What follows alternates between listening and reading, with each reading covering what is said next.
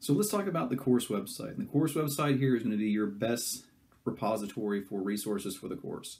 Now there are a few very important links on the course website. So if you go to the course website page, on the left side you've got the course menu options.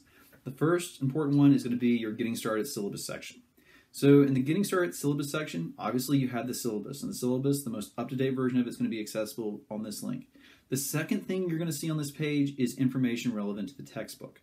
Now, last year we switched over to a new textbook. Originally we had Burdge, now we have OpenStax. OpenStax is a freeware program, or is a freeware book, so you can download it anywhere for free. I provide a link to the book there on the course website. If you took chemistry over a year ago and you still have Burdge, you're free to use Burdge. I just don't support Burdge anymore. I mean, I don't give you information on what chapters correspond to what information. That's something you're going to have to do on your own. Now, also, OpenStax has options other than the book we're using. So if you want to go through the OpenStax materials and see whatever what other information they have, what other books they have, you're free to do so. That said, I only support the version of the OpenStax book that we're using in the class. Second link, the lessons link. Now the lessons link is going to contain our PowerPoints and the in-class practice problems and the solutions to those in-class practice problems. So underneath the lessons links, you're going to find subfolders corresponding to test one, test two, test three, test four, and the final exam.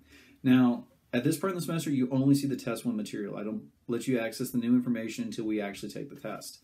But if you click on that test one folder, you're going to see the lecture notes for the whole time up until we take the first exam. I used to break my lecture notes into little bits for each day we were lecturing, and I found out it just wasn't that useful.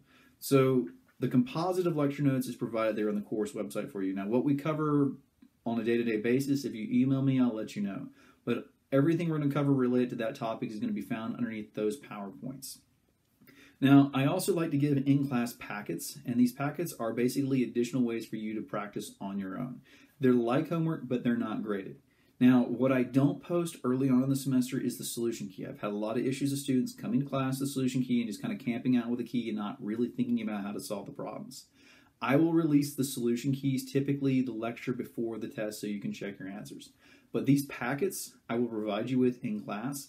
Again, they are meant as supplemental practice for you, and we're going to be working on them throughout the semester. So it'll give you a flavor for what's going to be on the test. It'll also provide you with a resource for, you know, working on those types of problems. Now, the next link down is the lesson supplements. The lesson supplements is a very important link. This is where I provide you with outside of class resources. So like the lessons folder, there's going to be a folder corresponding to each test.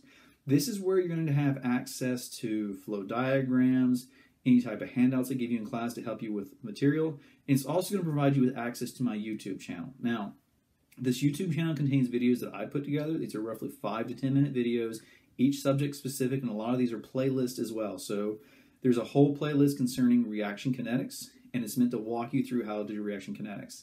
It is a simplified version of the lectures, meaning that there isn't nearly as much depth, there aren't as many as worked examples, but it is meant there that if you had to miss class for whatever reason, you can kind of do this on your own.